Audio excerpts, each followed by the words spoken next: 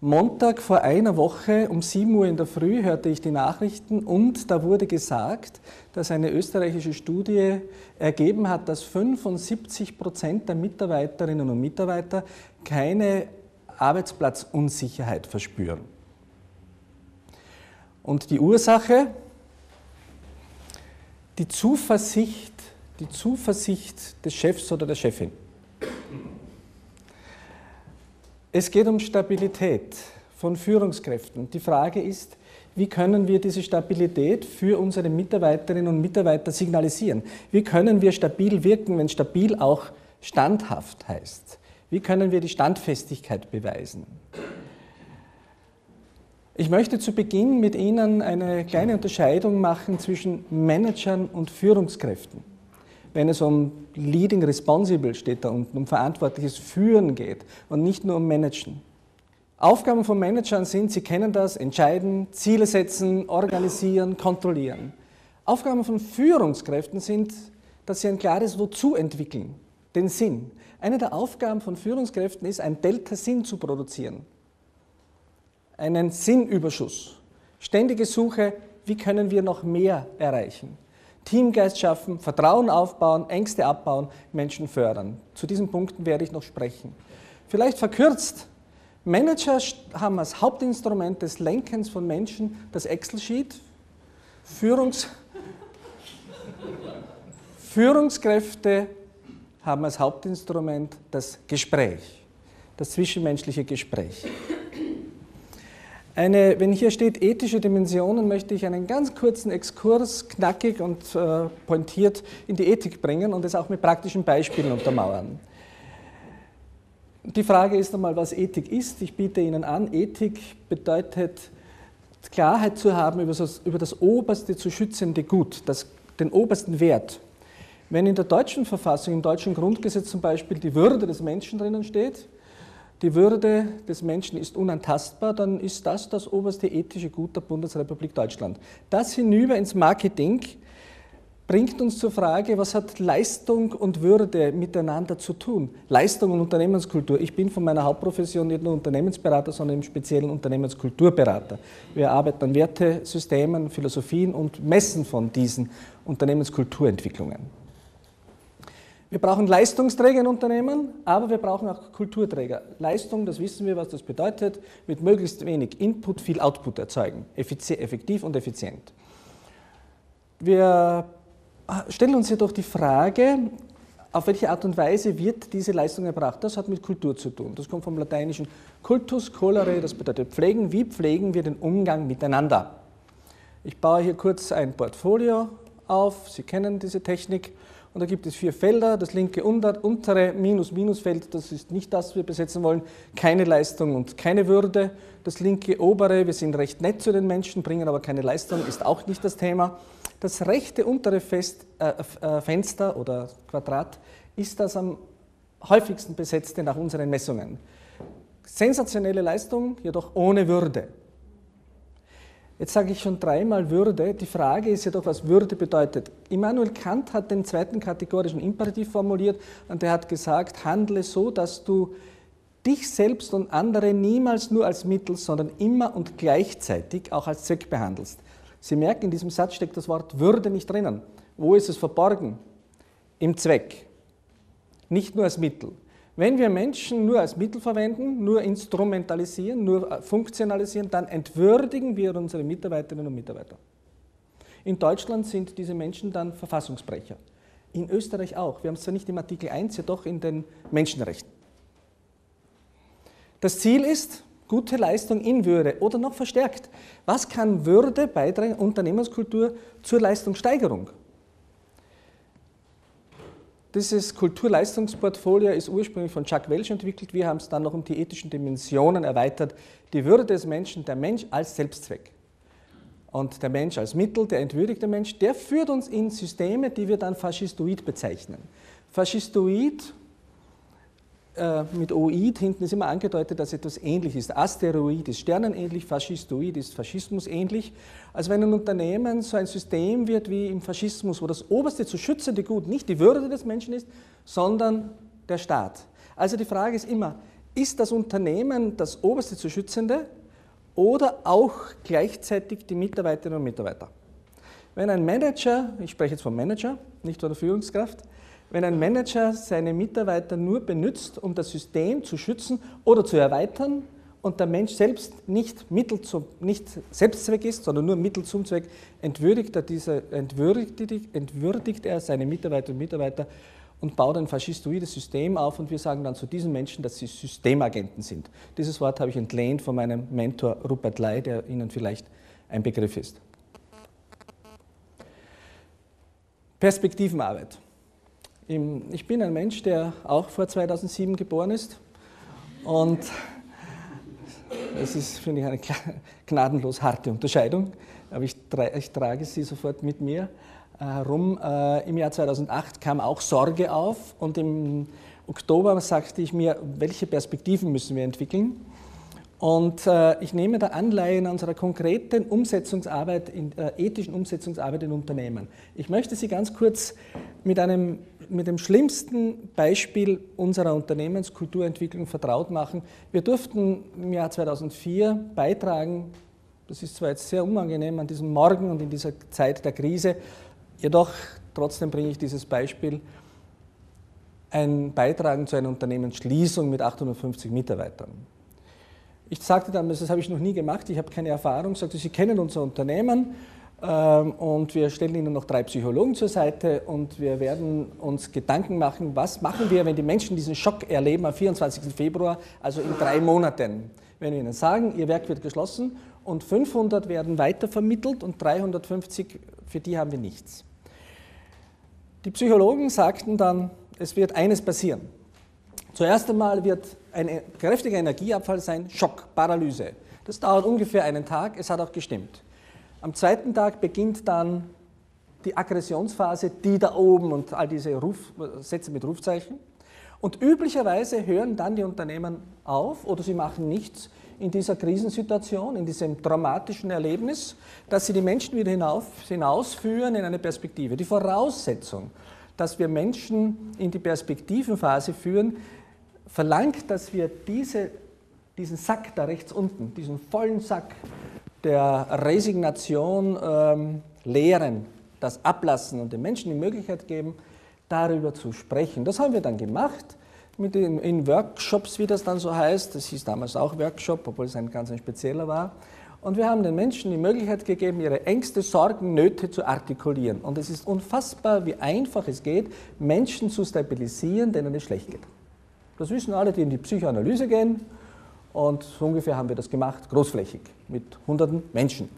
Es geht darum, die Resignation anzusprechen und nicht von der Aggressionsphase sofort in die Perspektive und den Menschen irgendetwas vielleicht mit Chaka Chaka oder so ähnlichen Methoden zu verkaufen. Das hält dann drei Tage. Wir haben seriös gearbeitet, gingen in die Resignation hinein und haben die, die Führungskräfte darauf vorbereitet und ihnen die Frage gestellt, was, würdet, was braucht ihr selbst? Die 17 Führungskräfte in den drei Monaten haben dann in der ersten Arbeit selbst aufgeschrieben, wie werden sie Vorbild sein in dieser schlimmen Situation? Und ich weiß nicht, wie es Ihnen geht ob Sie merken, dass in dieser jetzigen Phase, wo wir ja jetzt vielleicht noch nicht Werkschließungen haben, noch nicht so viele, aber demnächst stehen sie an, oder Kurzarbeit und dergleichen, wo wird, in welchem Unternehmen wird hinter dieser Schock- und der Aggressionsphase nun mit den Mitarbeiterinnen und Mitarbeitern etwas gemacht. Die Führungskräfte, sage ich jetzt, nicht mehr die Manager, haben sich selbst Verhaltensziele für ein stabiles Vorbild gegeben und es ging uns um Grundmuster. Und es sind fünf Grundmuster herausgekommen, wo sie gesagt haben, das müssen wir an den Tag legen. Wir müssen aufrecht gehen, wir müssen eine sichere Stimme haben, wir müssen einen ruhigen Blick haben, wir dürfen den Kopf nicht hängen lassen, das ist also Bildsprache, darum unter Anführungszeichen, und wir müssen nach vorne schauen, trotz dieser Krise. Sie merken, es sind ganz einfache Regeln. Und wir haben dann noch eine äh, sechste dazugefügt, die habe ich noch nicht da oben stehen, Demut. Und mir ist bewusst, Demut, das heißt nicht sich erniedrigen, sondern bedeutet ganz einfach übersetzt, geerdet sein. Demut heißt lateinisch humilitas, da ist Humus drinnen, Erde, man steht mit beiden Beinen fest auf dem Boden. Das ist ein demütiger Mensch, nicht einer, der sich erniedrigt. Der sich nicht kleiner macht, aber auch nicht größer. Und ähm, wenn Sie diese Punkte ansehen, diese Verhaltensziele, dann äh, würde ich meinen, dass dieser Mensch, an dem jetzt die Hoffnungen von allen hängen, wie Sie am Telefon zu mir gesagt haben, der sie nie erfüllen kann, Barack Obama, der hat das. Aufrecht geht er, sogar er tänzelt sogar. Er geht wie Sidney Poitier. Äh, sichere Stimme, ruhiger Blick, lässt den Kopf nicht hängen, hat ein bisschen das Kinn weit oben, ein bisschen zu weit, aber das ist so die Vision. Und sitzt immer so da, schaut nach vorne und er ist demütig. Der hat sich noch nie größer gemacht, als er ist. Er ist ein demütiger Mensch. Das waren die Verhaltensziele. Sie sehen, ich möchte Ihnen ganz einfache Sachen zeigen. Es ist im Grunde alles ganz einfach. Und dann war noch die Frage, was können wir tun in den drei Monaten bis zum 24. Februar, wo wir bekannt geben müssen, der Werkleiter, wir schließen das Unternehmen, wie können Sie in drei Monaten Vertrauen aufbauen? Der wurde nämlich extra bestimmt zur Werkschließung. Und dann habe ich zu ihm gesagt, ich durfte ihn coachen, Sie werden am 24. Februar, wenn wir das nicht gut machen, ein Problem haben. Die Leute werden sagen, das wussten Sie doch immer schon und haben es uns nie gesagt. Und ein Manager darf das natürlich nicht sagen, dass demnächst das Werk geschlossen wird. Die Sorge war, dass die 17 involvierten Führungskräfte nicht stillhalten und das Wunder ist geschehen. In drei Monaten kam nichts über die Lippen von keinem dieser Menschen. Und wie bauen wir Vertrauen auf? Ich zitiere einen Satz von Luhmann, dem Philosophen, auch Berater von Aldi, wo ich früher gewesen bin. Vertrauen ist eine Funktion der Reduktion von Komplexität. Philosophensatz. Was bedeutet Reduktion von Komplexität? Das heißt einfach. Der Satz ist nicht einfach. Er widerspricht sich selbst. also mit anderen Worten, Vertrauen baue ich dann auf, wenn ich ganz einfache Grundmuster habe. Und dann haben wir uns die drei wichtigen Grundmuster für Vertrauen erarbeitet und die sind wirklich einfach. Geh zu den Menschen, suche Nähe zu ihnen, wenn Sie dann reden, schau Ihnen in die Augen, wenn Sie Probleme haben, schau nicht weg. Sagen Sie nicht, ja, reden Sie weiter, ich mache in der Zwischenzeit die Unterschriftenmappe fertig. Wieder erkennen, signalisiert Ihr Lachen. Und äh, das Dritte ist, wenn einer Probleme hat, muss man zuhören. Wir müssen ablassen, ganz einfach. Sie merken, Reden kommt nicht vor. Bei einem Kunden, den ich jetzt seit fünf Jahren betreuen darf, hat im Kulturspiegel-Interview ein Mensch zu mir gesagt, unsere Führungskräfte kommunizieren zu wenig. Und wenn sie kommunizieren, dann reden sie zu viel. Führungskräfte reden zu viel. Sie arbeiten auch zu viel. Sie sollen zuhören. Politiker, ich betreue 25 Abgeordnete im Augenblick, denen sage ich, seit vier Jahren trainieren wir sie auf Zuhören. Ja, wir müssen noch argumentieren, sage ich, wir hatten das gesagt, das steht doch in der Zeitung. Hört zu. Und nun in die Vergangenheit. Aus unserer eigenen Erfahrung in die Fremderfahrung. Die Wiener Jesuiten haben ein kleines Managementbüchlein geschrieben. Das ist jesuitisch einfach, kurz, prägnant. Ich habe keine Brille auf. Das Managementmodell der Jesuiten, ein äh, Erfolgskonzept für das 21. Jahrhundert. Und da drinnen steht auf der ersten Seite, beinahe kein Unternehmen hat bisher die dritte Generation überlebt. Und wenn Sie mal Revue passieren, welche Unternehmen leben noch, dann sind es selten Unternehmen, die 75 Jahre bestehen bin, ist nicht mein Kunde, darum kann ich es dann noch leichter sagen, ohne in Verdacht zu kommen. Siemens ist einer dieser. Grundig hat es nicht erlebt. Es gibt jedoch Sozietäten, die äh, bestehen seit Jahrhunderten. Bauern oder auch Klostergemeinschaften. Das ist natürlich ein Werbesatz der Jesuiten. Jesuitische Schleue. Um darauf hinzuweisen, wir existieren seit 540 Jahren. Nur Pech gehabt, liebe Jesuiten. Äh, es gibt jemanden, der schon 1000 Jahre älter ist. Das sind die Benediktiner. Und dann 100 Jahre noch älter die Augustiner. Aber wir brauchen jetzt nicht um ein paar Jahre streiten. Was ist das Erfolgsrezept? All diese haben eine Wurzel gemeinsam. Wertetradierung, sie übergeben Werte zur Stabilisierung der Kultur. Und bei den Benediktinern bin ich vor vier Jahren fündig geworden. Als Soziologe interessieren mich diese stabilen Systeme. Aber bevor ich zu den Benediktinern gehe, mich interessieren auch ganz kleine Gemeinschaften. Die, Firma, die Familie Mehofer, eine Weinfirma im Weinviertel, hat mich der Vater vor einigen Jahren gefragt, ob ich auch mit kleinen Unternehmen was mache. Sage ich, ja, selbstverständlich. Und dann ist er mit zu mir, haben wir uns in, in Melk getroffen mit seinen fünf Kindern und seiner Frau, weil er wollte das Jahr 2009 erleben mit seinem Unternehmen, mit der gesamten Familie und 300 Jahre Mehofer feiern. 300 Jahre. Und da haben wir gemeinsam mit der zwölfjährigen Tochter bis zum 32-jährigen Sohn das Leitbild erarbeitet. Das war die schönste Arbeit. wie kann, er, wie kann ein kleiner Weinbauer seine Werte übergeben? Indem man gemeinsam arbeitet daran. Seit 1500 Jahren, Benedikt, 530 bis 540 nach Christus, hat er sein Leitbild erarbeitet, das älteste bestehende Leitbild, das es gibt, ähm, hat zwei Gelübde für seine Mönche eingeführt. Nicht zuerst Wandel, Konversatio, Umkehr, Metanoia, sondern Voraussetzung für Wandel, für Change, das Wort kennen wir, ist Stabilität. Es ist immer zu, die erste, das, erst, das erste Gelübde der Mönche der Benediktinergemeinschaft ist Stabilitas sua und in Kongregation auf Deutsch Stabilität in mir selbst. Ich muss Stabilität in mir haben und ich brauche Stabilität in meiner Gemeinschaft. Stabilität in mir, wie bekomme ich das? Wir unterscheiden nicht nur Manager und Führungskräfte, sondern auch noch Führungspersönlichkeiten. Eine Führungspersönlichkeit weiß Bescheid über ihre eigenen handlungsleitenden Werte. Was sind, meine, was sind meine drei wichtigsten Werte zumindest von meinen 50? Was sind die drei wichtigsten? So kann ich in mir Stabilität bekommen.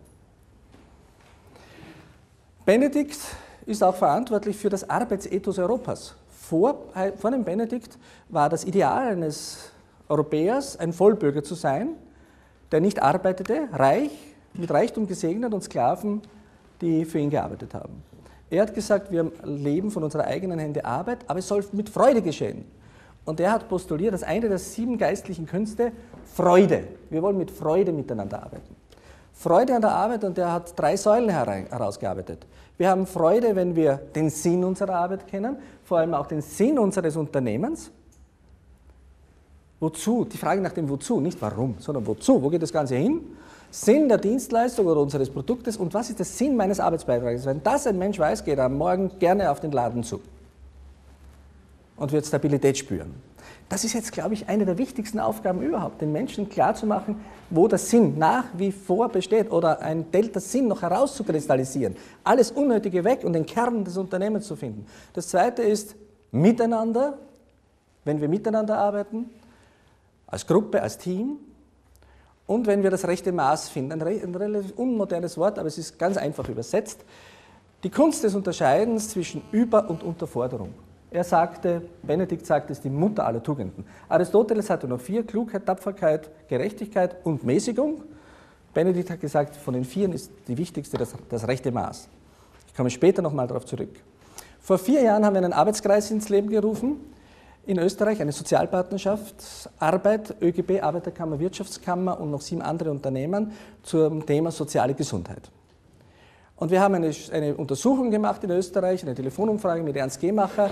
Fazit 1, ein Drittel bis mehr als die Hälfte der Mitarbeiter und Mitarbeiter erlebt keine bis eingeschränkte Freude am Arbeitsplatz. Das war noch vor der Krise. Mehr als die Hälfte gibt an, dass über Abwesende, müsste hier stehen, nicht so gesprochen wird, als ob diese anwesend wären. Das sagten 56 Prozent. Man redet schlecht über die Leute. Und beim ersten Vortrag hat einer zu mir gesagt, und die anderen 44 Prozent haben gelogen. Und beinahe ein Drittel sagt, ein Drittel, 29 Prozent haben gesagt, dass gegeneinander statt miteinander gearbeitet wird. Fazit 2, wir haben auch den Angstfaktor gemessen, sieben Fragen gestellt, drei herausgeholt. 46 Prozent haben Angst, Fehler zu machen. Was für ein Innovationspotenzial muss da noch existieren, wenn man sich nicht wagt, neue Wege zu gehen, wo man stolpert, strauchelt, hinfällt, das Schlimmste für mich ist, Sorge und Wertschätzung und Anerkennung im Unternehmen zu verlieren. 37 Prozent. Ein Drittel der Menschen ging heute Morgen auf ihren Laden zu und hat Angst, wenn sie da reingehen, dass sie Sorge dass sie, Wert, äh, dass sie Angst haben, Sorge, äh, Wertschätzung und Anerkennung zu verlieren. Darum sind sie auch, glaube ich, heute hierher gegangen. 35 Prozent, nein, sie können nicht zu diesen 37. 35 Prozent haben Angst zu versagen, Versagensängste. Und dann haben wir noch gemessen, wie viel Zeit geht verloren durch sozial ungeeignetes Miteinander umgehen. Ich kürze ab, bis zu 25 Milliarden Euro pro, Tag, äh, pro Jahr. Das gesamte Gesundheitssystem in Österreich kostet 27 Milliarden. Zum Präsident Leitl haben wir gesagt, wir haben das Geld gefunden. Zum Miteinander statt Gegeneinander. Links oben das Rote zeigt in einer Gruppe von Menschen, in einer normalen Sitzung, in einer Konferenz, in einem Meeting, wo üblicherweise in der Hackordnungsbestimmung gegeneinander die Energien eingesetzt werden. Und das Problem, das zu lösen ist, äh, üblicherweise einsam und ungelöst im Sitzungszimmer zurückbleibt. Es gibt eine andere Möglichkeit, die Energie zu bündeln, auf das Problem zu zentrieren und mit meinem Lehrer Rupert Ley unterscheiden wir Team und Gruppe. Das links ist eine soziale Gruppe, rechts ein Team. Ein Team ist auch eine Gruppe, jedoch eine andere als links. Eine Gruppe, die in erste Bedingung, die in gemeinsamem Erkenntnisfortschritt ein Problem löst, das ist die Aufgabe dieser, dieses Jahres, glaube ich, und in der kein Mitglied gegen ein anderes kämpft. Kämpft ein Mitglied gegen ein anderes, ist kein Team mehr da. Ich schaue, Sie schauen auf die Uhr, ich beeile mich, das rechte Maß. Es gibt Fähigkeiten bei uns und wir haben demgegenüber Anforderungen zu erfüllen. Ist die Fähigkeit gering, die Anforderung hoch, dann entsteht Angst. Man soll sich der Angst stellen und sie erkennen. Ich glaube, wir erkennen, dass sehr viele an die Grenze ihrer Fähigkeiten gelangt sind in diesem Jahr. Sie, sie kommen von der Schweiz und Sie haben mir am Telefon gesagt, es sind sehr divergierende Meinungen. Das heißt, es gibt nicht eine Lösung. Das heißt mit anderen Worten, wir sind im Augenblick alle unfähig. Manche. Und es wäre gut, wenn wir sagen, ich habe Angst, aber ich darf es nicht zeigen natürlich. Das ist die Aufgabe des Managers. Zuversicht ist das Thema. Aber Voraussetzung ist, dass man sich mit seiner Angst auseinandersetzt. Das wird im Augenblick nicht stattfinden. Hohe Fähigkeit, geringe Anforderungen, Langeweile, die Zeit ist vorbei. Das, was ich jetzt aufzeichne, ist von Mihaly Centik, ich krieg's noch raus, Centik Mihaly, der Glücksforscher. Und der sagt, wenn wir da drinnen sind, dann haben wir den Flow. Der Flow ist meines Erachtens in Stocken geraten. Wie, wie kratze ich jetzt die Perspektivenkurve? Das klingt jetzt alles so negativ. Sie haben zum Lachen gebracht und ich habe gesagt, ich werde noch einen, einen, einen Magenstrudel erzeugen. Wie kommen wir da wieder raus? Die Frage ist, nehmen wir uns die Zeit, in dieser Zeit die Führungsarbeit für die Menschen zu verstärken oder reduzieren wir sie? Ich unterscheide gerade zwei Unternehmensgruppen. Es gibt Unternehmen, die reduzieren die Arbeit mit Menschen auf Null. Ich habe Glück, dass die zwei Unternehmen, die ich da kennengelernt habe, nicht meine Kunden sind. Und es gibt andere, die sagen, nein, wir verstärken unsere Arbeit. Jetzt brauchen sie es in der Resignationsphase, um in die Perspektive zu kommen. Die Spreu trennt sich vom Weizen. Die Schönwetterkapitäne von den Schlechtwetterkapitänen können wir jetzt demnächst unterscheiden. Und das sind die Unternehmen, ich zitiere bewusst natürlich keine, aber es gibt welche, die sagen, gerade jetzt. Ich danke Ihnen.